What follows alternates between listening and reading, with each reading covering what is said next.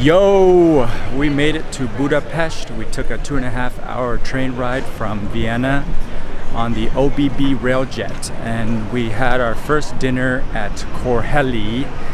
It's a Hungarian restaurant. We ate the beef soup with the oxtail and some vegetables and some homemade pasta along with the cheese covered pork tenderloin with some bacon and also we got the duck crispy duck leg with mashed potatoes. So the meal was very good. We also got dessert with uh, some chocolate souffle cake. And it's basically like a chocolate lava cake. Uh, we would say one, this is one of the best meals we've had in Europe except for the duck leg was kind of salty. Otherwise everything was uh, you know, tasted very good. And it, the cheesiness of the pork tenderloin was especially memorable. The city so far is very beautiful and the weather here is great. We were walking in sunny weather and all of a sudden it started to rain really hard. The Danube River in Budapest is huge. It looks to be about three times as wide as the Seine River in Paris. Budapest by the Danube is incredibly beautiful. Save the best hotel for last. This is the Mystery Hotel in Budapest. It's a five-star hotel and we just got here. The room itself looks great. They also gave us some free fruit and chocolates. So far we're very satisfied with the hotel. Hopefully we can sleep well and the breakfast is good tomorrow morning. The breakfast in Mystery Hotel Budapest is fantastic. There's a wide selection of great tasting food. The hotel is basically perfect for us except for that they don't let you control the heating or cooling function in the room and also the bed sheets are a little bit uh, plasticky and hot. The first thing that stands out to us about Budapest is that there's a lot more trees. We also stumbled upon the Budapest Zoo. We couldn't resist going in because it was only $9 per person. It's not as well maintained as the Vienna Zoo, but it's an enjoyable experience. What the zoo lacks in quality, it makes up for in quantity of animals. The zoo is turning out to be one of our best unexpected experiences in Europe. We followed up our zoo adventure with lunch at Paprika Restaurant. We ordered uh, a fish soup and also a paprika plate for two people. The food was pretty good. Uh, the service was very rude. The server, the waitress wanted us to like order more or something, another drink or another salad, but the food that we ordered was a lot of food. Like we couldn't even finish it and had to take it to go. So we're not really sure why she was so rude to us, but it seems like other people were having bad experiences as well.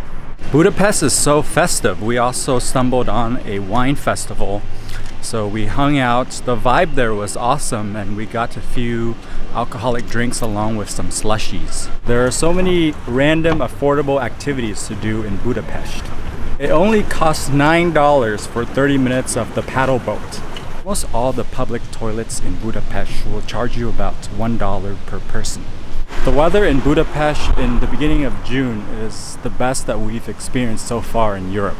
This morning we checked out the Szimpla Sunday Market. It's a small eclectic market with some live music and vendors selling vegetables and that kind of stuff.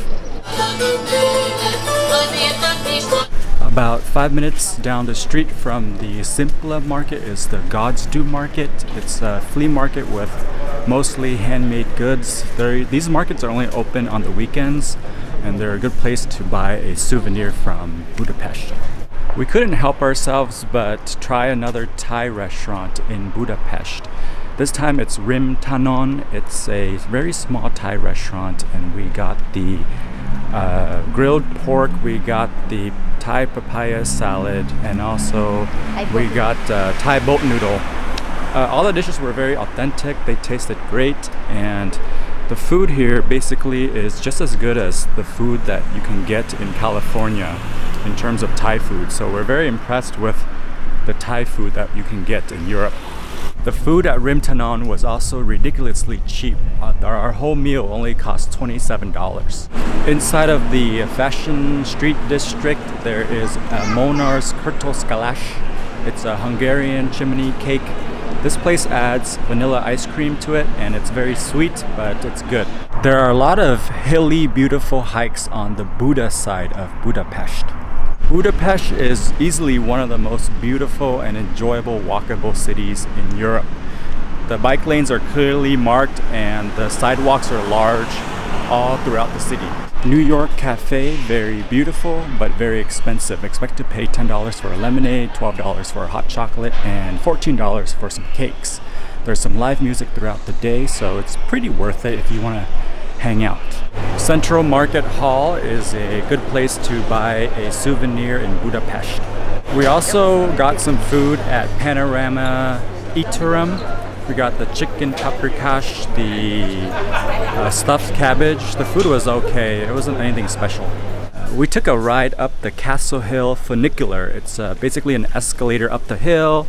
It's quite expensive for what it is. It's like $5 per person and the ride is only about 4 minutes. And the view is okay if you take the bottommost room. We had to try a second pho restaurant in Europe. This time it's Dang Muoi. We got the beef pho and also the uh, pork belly pho. And both of them weren't authentic pho, but they tasted amazing. The broth was super flavorful, but wasn't salty. And the noodles were cooked perfectly. So the food itself isn't authentic tasting like we are used to in the Bay Area, but it was just so good. Did I mention that each bowl was only $6.50? We took a one hour sightseeing cruise with Portum Lines. The cruise was only $9 per person and it's well worth the price because they give you a free drink as well. The cruise, if you take it around 9 p.m., you'll be able to see the lights on the Parliament building at night and it's very beautiful. Our final dinner in Budapest was Stand Étterem. It's a one Michelin star restaurant and we would say that this is by far the best Michelin star restaurant that we've ever had. Um, everything from the appetizers to the desserts to the main courses. I mean, everything was at least very good, and most of it was very memorable. And seriously, the desserts made me wanted to cry. I mean, it was that good. So, I mean, I, I'm not gonna go through like all of this, the dishes in detail or whatever, but you know, I'm just gonna tell you that you should try Stand Étterem if you visit Budapest. It's worth the money. It's about $150 per person, but I, you know, it's worth every penny if you if you enjoy food, you enjoy, you know, fine dining and kind of an experience that you can't really get anywhere else. So it's been a long 17 day trip for us. We're very grateful that we were able to take this trip and we were very grateful to be able to experience the world in a pre-COVID way. I mean, everybody is not wearing masks anymore, which might not be a good thing, but you know, we got to experience things the way that they were before COVID. And we're very grateful for it. I think this trip has been very, it's I think it's our best Europe trip so far, um, and Budapest has surprised us a lot. I think we very much enjoyed Budapest, and we would consider coming back to Budapest. Uh, we wouldn't consider going back to Vienna, and we would consider go back to Paris, but I think at this point we really enjoy Budapest because of its walkability, its just beautiful vastness, and Although some of the service in Budapest is kind of awkward and rude, I think some of the people we met were also very nice. Um, and so, you know, overall, we uh, had a great trip and we hope you guys enjoyed watching us along the way. And yeah, thanks for watching us.